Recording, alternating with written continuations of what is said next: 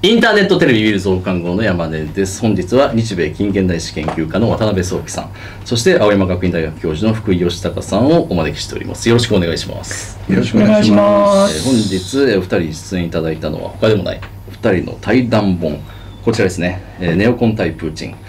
正義の戦争は嘘だらけ。が弊社枠より刊行されたからです。で、概要欄に購入リンクを貼っておきますので、ぜひお買い求めください。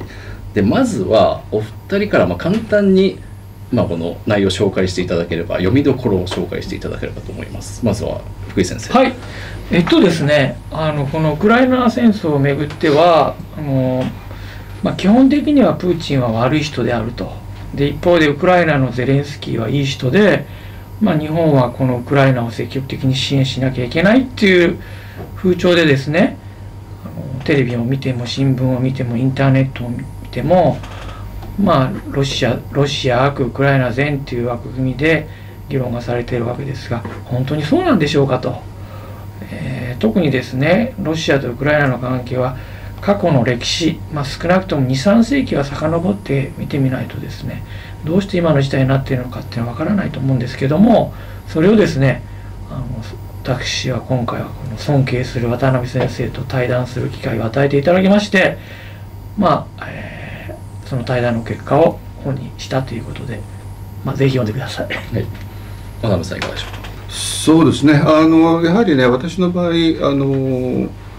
カナダにいるということでどうしてもその日本からの視点っていうのはほとんどないんですよね。ですからやっぱり向こうから見ますとねやはり今度の問題はネオコン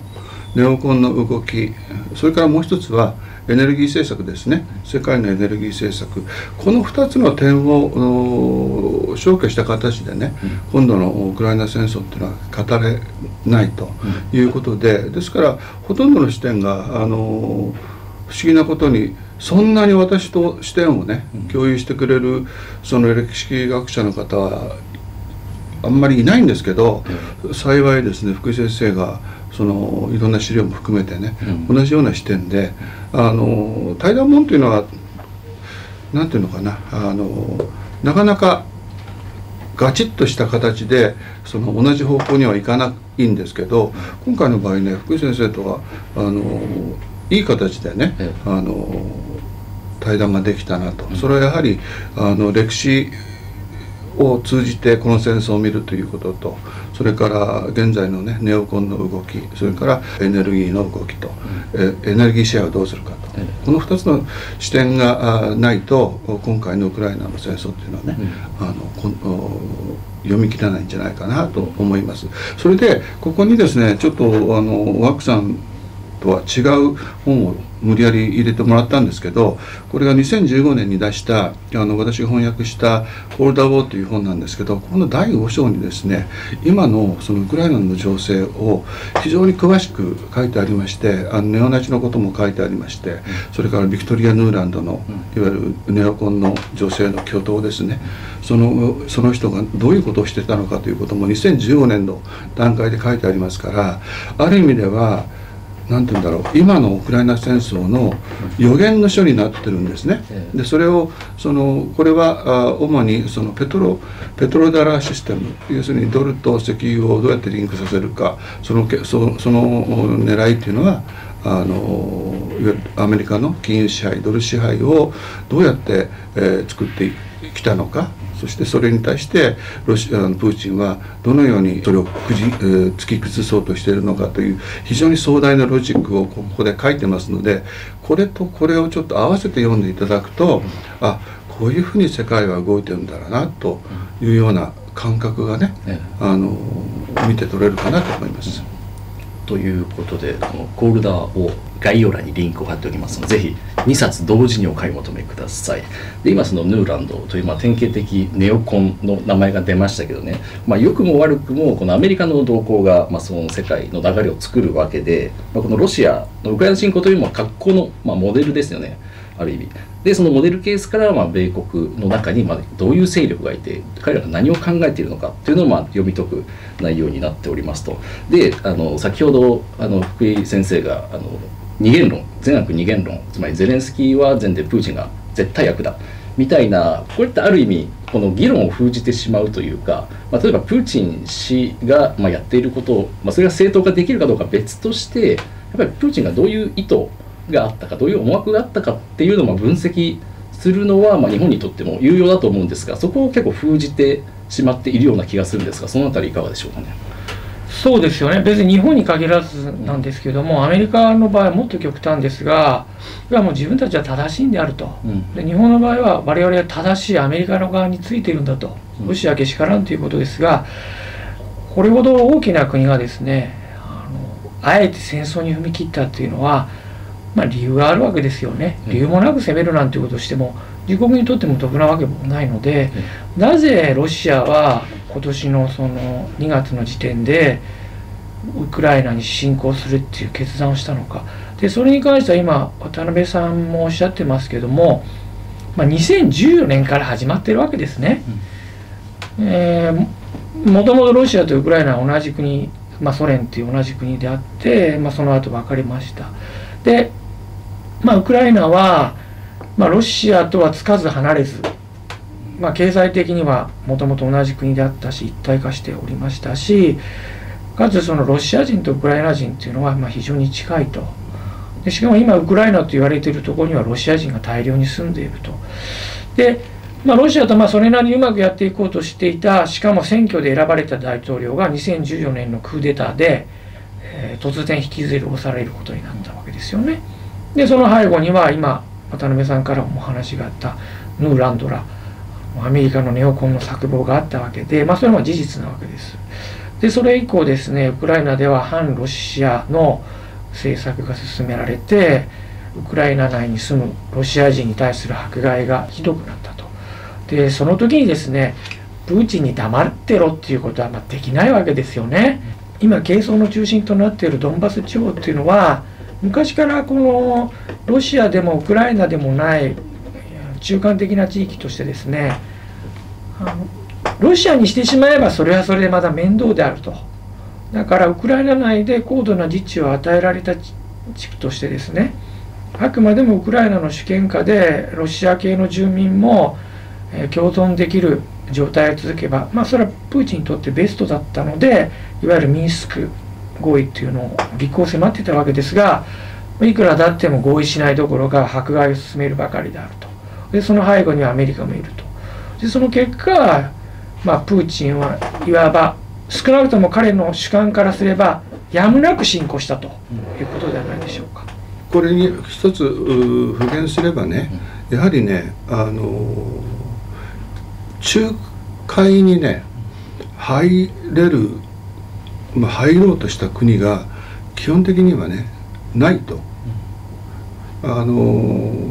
例の、まあ、2月の後半に始まってで私すぐにねこれ終わるかなと思ってたんですよ他の対談でも言ってたんですけど確かにねあれ3月の末でしたかね、はい、3月の末にもう合意がね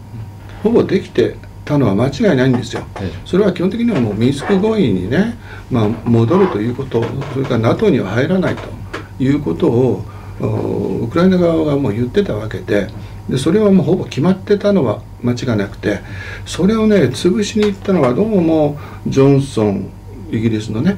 ポリス・ジョンソンらしいんですよ。それはね先生あの先生の、はい、見つけてきたねスクープというかスクープでもないんですかね、ね、あれは。ですからあのウクライナの比較的有名な、まあ、新聞メディアがあるんですけどもそこにですね5月ぐらいだったと思うんですが、えー、突然そのこの交渉が止まったのはジョンソンがキーウに来てそれから交渉が進まなくなったと。で、えー、そのメディアによるとですねジョンソンはここで妥協妥協するなと圧力をかけたと書いてあるわけですよね。その代わり支援はすると。おそらく本当だと思いますけど、そうですね。私もそれ信用しているのはなぜかというとこれ歴史の繰り返しで第二次世界大戦のポの時のポーランドがそうだったわけですよ。でそれからあと第一次世界大戦の時もあのロシアに対してねあのウィリアム2世があの総動員令かけたんだけどとにかく引いてくれと1回その総動総動員令をやめてくれと言ったんだけどそれをやめさせなかったのがロシアの軍の強硬派であるしその裏についてたのがフランスとイギリスですからねですからやはりこう歴史はねあの繰り返してるパターンがやっぱりあって今回もそのパターンかなと思います。であのもう一点共通点を言えばねあのポーランドとヒトラーナチスが交渉してる時もあれねあの本当だったらねイギリスフランスあるいはアメリカが本当にヨーロッパで戦争を起こしたくないんであれば仲介にね入れる可能性もあったんですよ。でも確かにポーランドに対して中立保障をイギリスフランスしてましたけどだからといって仲介に入らない理由にはならないのでねで結局ねこの仲介に入る国がない時にやはり何何らかの策謀がねあるというのはやっぱり歴史のね今までの教訓なんですよね。でもう一点足せばやっぱり弱い国がね強い国にあの歯向かう時は必ず裏に強い国がいるというのはこれは常識としてね見ておくべきだなと思うんですけどね。まあ、その問題に関してはですね、まあまあ、我々と基本的に同じような見方しているのがエマニュエル・トッドという人がいてあの文藝真珠にも登場してたわけですけども、まあ、彼なんかは、まあ、結局最後には一番あの犠牲を払わなきゃいけないのはウクライナであると。でウクライナは今後どういう対応をするかというとアメリカを恨むんじゃないかと要は利用されただけっていうことが分かった段階で反米になっていくんじゃないかと書いてありましたがまあその可能性は否定できないと私も思いますね。すね日本もあんまりあのこういう問題であの自分たち軍事力も何もないにもかかわらず調子に乗らない方がいいかなと、政府も、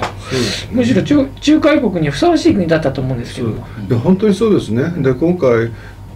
何らかの圧力は当然あったと思うんですけどあのイギリスフランスあたりが動けないんであればまさにねその日本があの仲介に、ね、入る可能性だって外務省考えてもよかったと思いますよ。でそれで頑張ってたのがトルコですもんね。はい、トルコはロシアにもそのウクライナにも利害関係がありながらそれでも1月の段階からあの1月ですよもう段階からあの武力衝突に、ね、ならない形であのなんとか収めようということでエルドガン大統領はあの両方に、えー、何度も会って話をしてますからですからトルコ的な外交っていうのはもう日本の外交無理なんですかね？結局今の日本のその戦争観というのは戦争はもう絶対に良くないとだから戦争を仕掛けた国は悪であるという要は戦争違法感が前頭になってるわけですけども実際国家間の揉め事っていうのはですね裁判所も警察もないからどっちがいいも悪いもないわけですよね。でですので仲介国っていうのが非常に重要になってきます。でその場合はですね戦争が正しいとか正しくないとかっていう議論をしてしまうとですね結局正しくない側にされるわけです負けてしまったらそうすると戦いも死に物死に物狂いになってしまうわけなんですよね。やっぱりそれをあの避けるためにもあんまり戦争においてはその善悪を強調しないともちろん戦争犯罪は糾弾していかなきゃいけないですが戦争自体があっけないとかっていうことにしてしまうとですね結局揉め事が全く、えー、解決できないかまあ、結局今回のように、えーとですね、仲介国が基本的に存在しないような状況になるかということでむしろ戦争の被害は大きくなってしまうと思いますけれども。まあ、そのまあ岸田政権はまあすぐまあ欧米に追随したわけですが、はい、あの安倍元総理が、まあ、元総理だから言えることかもしれないですけども、はい、これアメリカ側もこれプーチンをこれ止める、まあ、手段があったんじゃないかみたいなことを、まあ、再三にわたっておっしゃられていて安倍さんはそのあたりまあまだ分かってたのかなと。そうですね。あのミンスク合意をあれエコノミストのね、はい、インタビューで、はい、あのしっかりとやっぱりウクライナ側がね、ミンスク合意を守っていればあの今度のようなことはなかっただろうということは、まあ、その後安倍さんはちょっと今の外務省よりの発言に若干こうオブラートかけましたけど安倍さんの方針というのはやはりミスク合意は守るべきだったというのがそれとあとやはり干渉国としてねあのウクライナは生きる道を求めないとあのウクライナ国民自体がね不幸になるんだろうなということは安倍さん分かってたと思いますよ。いや安倍さんだけじゃなくてあの皆さんから評判が悪い森元首相も同じようなあの意見を、えー雑誌「正論」で発表されていましたのでまあ割とこのロシアに関心のある政治家は表立って言わないだけで同じように思ってんじゃないんですかね。まあ、言うとまあ政治的に損だっていうことで黙ってるのかもしれませんが、まあ、言うのは鈴木さんぐらい怖いもののない。私たちも怖いもないですね。そういう意味じゃね。まあ、森さんも安倍さんもまあ共通点としては、まあ、プーチンとまあ親交が深かったっていうのがあると思いますけどそのプーチンに関しましては、まあ、ある意味まあプーチンが悪魔化されているわけですけれどもそれがなんかスターリンとかまあソ連の連続性の中でこう論じられる風潮ってありますよありますね。ただあの一番最初の方ですかねこの対談門の、はい。僕知らなかったのがあのソルジェニーツィンが実はプーチンを支持していたっていうのでそうです。よこれは意外というかあでもそういう考えればそこで連続したものと考えたら間違いないなあのプーチンははい。絶対にあの共産主義の最悪の時代に戻さないとえ言ってる人間でしょ、うん。要するに民族主義者なわけですよ。え。はいでそのそういったあそれからあとあれでしたっけ？あのノルマンディー上陸作戦何年記念の時のねあの記念式典でもあの原爆がね落とされたシーンで十字を切ったのは彼ですからね。アメリカが十字をあのオバマはいましたけど十字なんか切ってませんからえ要するに原爆使用に対しては非常にそのまずいことだったというのを彼はあの十字で示したんじゃないですか。だからあのお共産主義の時代には戻さないとですからスターリンとプーチンを一緒にするような議論というのはもう基本的には間違ってると判断したとこした方がいいと思いますよ。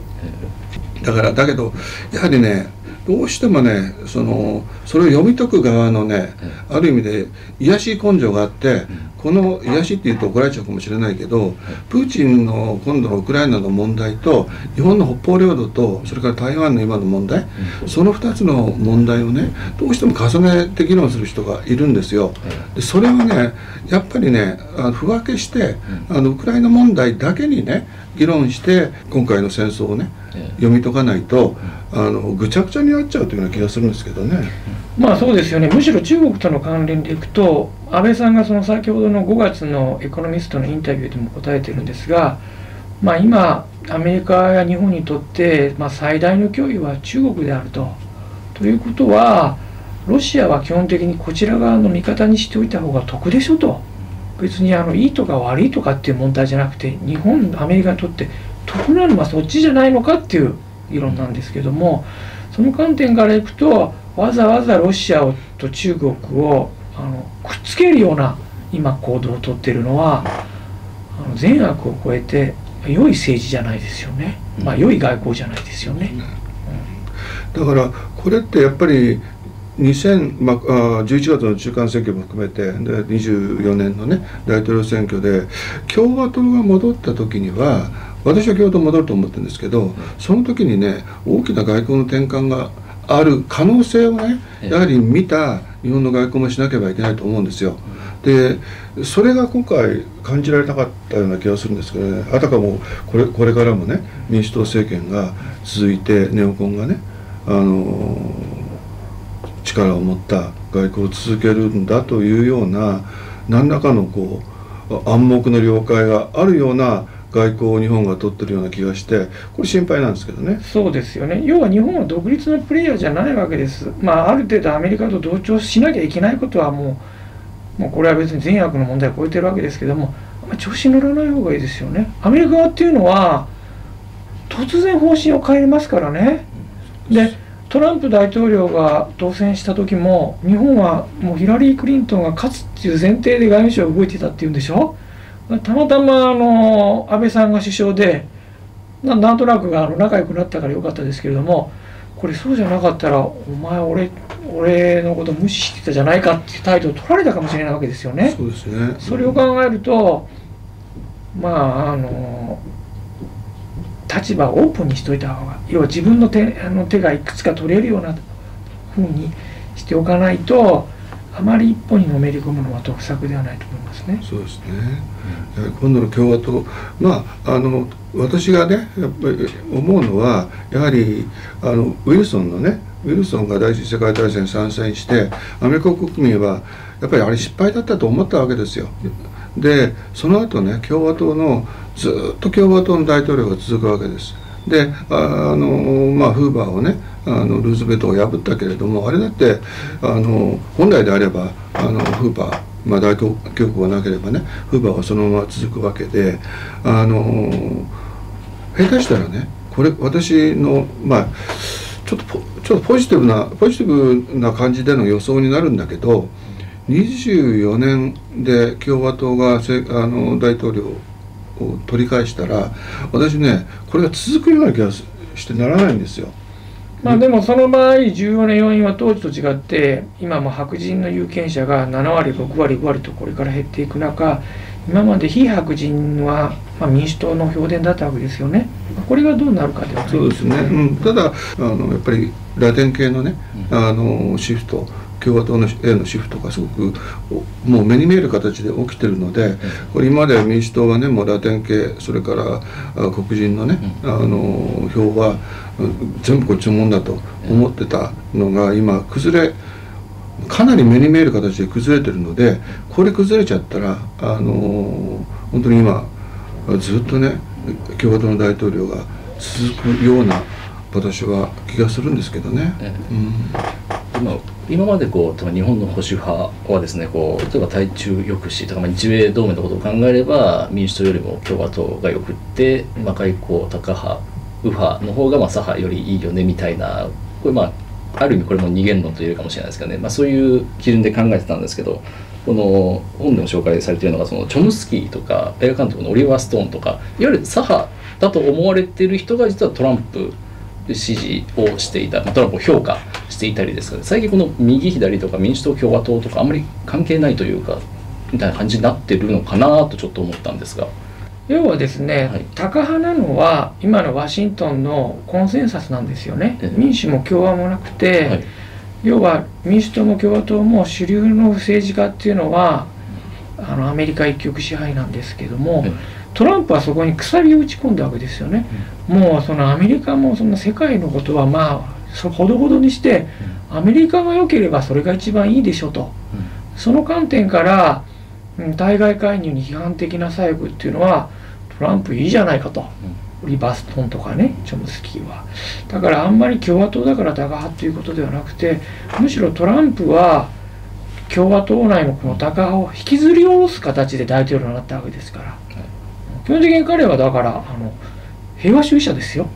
そうですね、うん、ビジネス優先なんだから戦争なんかしたら損でしょ。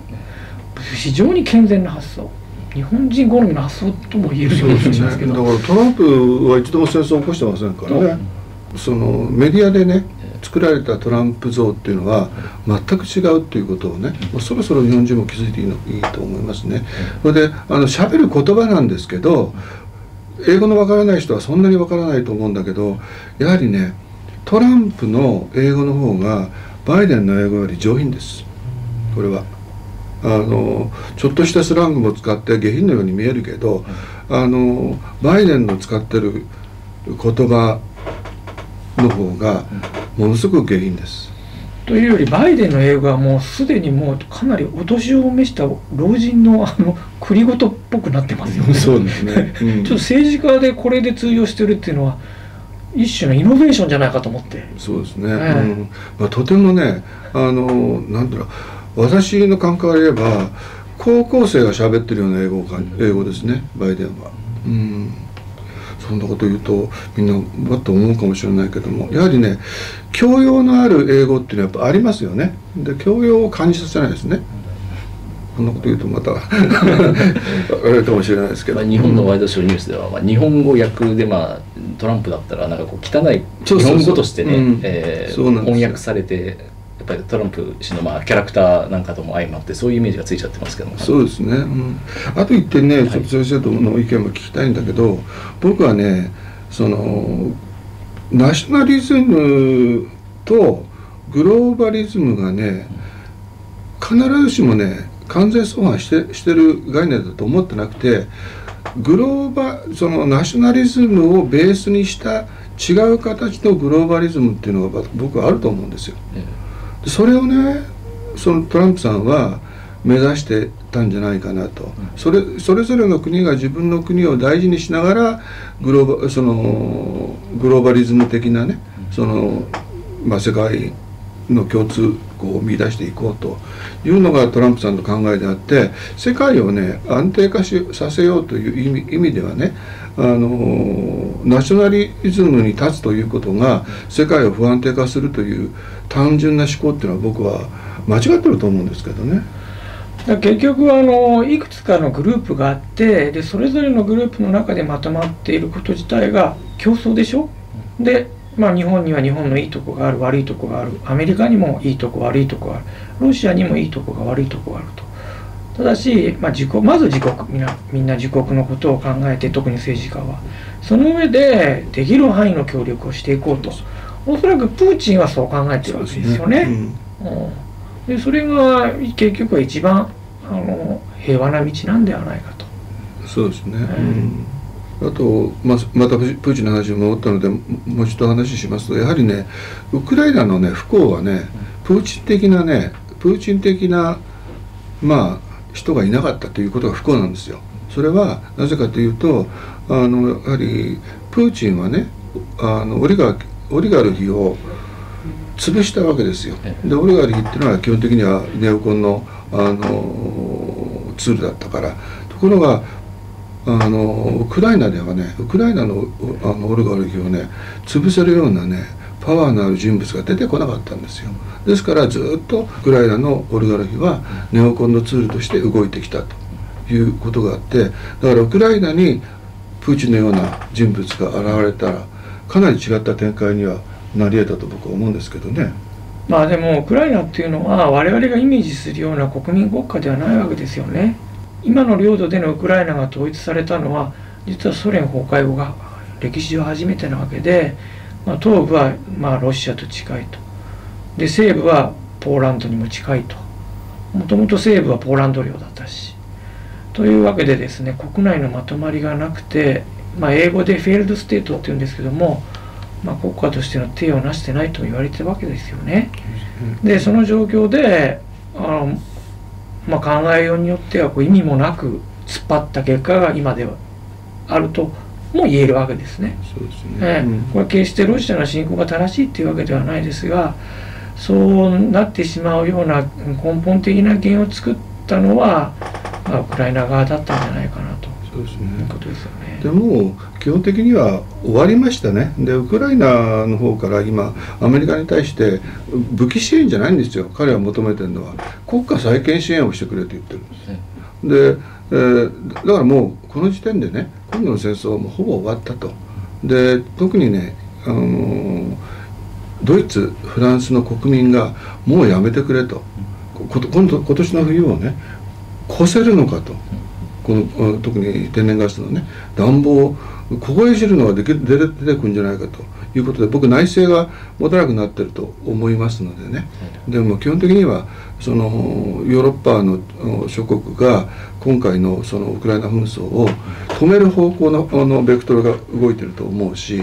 で今あのウクライナの穀物が動き始めましたね。でこれは明らかにあの政界権を持ってるプーチンがあのまあ、これトルコの仲介もあってあの穀物のね、えー、海上輸出を認めるという交渉があったんだけどそれも動き始めてるんでまああプーチンももともとねプーチンも早くやめたいと思ってるので、えー、基本的にはね今回の戦いっていうのはねどんなその表面的ないろんなあの戦いの報道があっても基本的には終わったんじゃないかと思ってます。どうですかそこは？まあでも、えっと、戦争は戦争の独自のダイナミクスがあるので、うん、やめ始まった戦争をやめるっていうのは結構難しいんですよね。うん、でそれはあの日本と中国の戦争も日本は常に戦闘には勝っていましたが結局やめられなかったわけです。だからロシアのリスクっていうのはアメリカがこうだらだらと支援して、まあ、ウクライナが勝つってことはないんですがずっと戦争状態になるっていう可能性は残ってますよね。ただイギリスイギリスは別にして、はい。もうドイツフランスオランダはい。持たないでしょ。今突っ張ってるのはポーランドだけでしょ？基まあヨーロ本はね。そう、ん。まあ、ヨーロッパの人はもう最初から大して乗り気じゃないしそもそもアメリカのアメリカで全然これ世論の支持のない戦争で実は一番支持してるのは日本国民かもしれないぐらい。そうですね。本当。これ不思議ですね、アメリカでは結構不評なんですよね。そうそうそう。この戦争ね、まあ、だからこそもう下手したら30%切るぐらいのね今323%でしょ、バイデンの支持率がね、はい。だからまあ戦争を起こして支持率を上げるっていうネオコンの思惑は完全に外れてますから、そうですね。なんか一番支持してるのが日本っていうのは確かに言えて妙ですね。本当にそうです。す、ヨーロッパはもうみんなもうしらけてますよね。そうです。えなんでウクライナのためにね我々のガスがね3倍4倍になってくんだということですよね。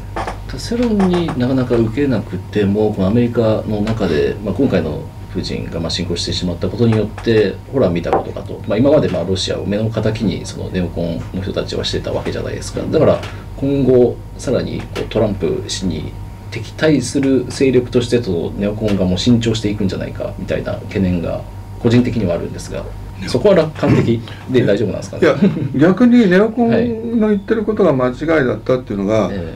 はっきりしたんじゃないですか。えなるほあど。もちろん。逆ですか、うん、逆だと思いますよ。え大体あのーやはりねあの NATO のね、はい事務局長事務総長ノルウェーのね、彼と彼とあのートランプさんのね、激論を私見てたんだけど、とにかくヨーロッパのあ軍産複合体の人たちを論破してましたからね、なんで NATO は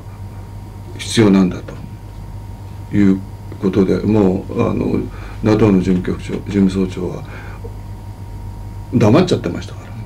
らだからやはりあのもう NATO にはね資金はどんどん減らしていくと NATO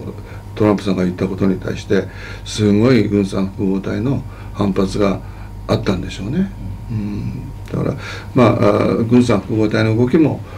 見ながらね、あのまあ、この対談でもちょっとその辺の動き、はい。だって防衛、えーえー国防長官？国防長官がレイセオンの元役員ですからね。ということは三菱重工の社長が防衛大臣やってるってのはそんなようなうん。感覚ですからね。おかしいでしょ。ということで、まあ、お二人いろいろとお話聞きましたが続きは対談本の方でお楽しみください。そこまで言います、ということで、えーぜひ、えー概要欄にリンクを貼っておりますので、えーぜひ、えーお買い求めください。ありがとうございました。ありがとうございました。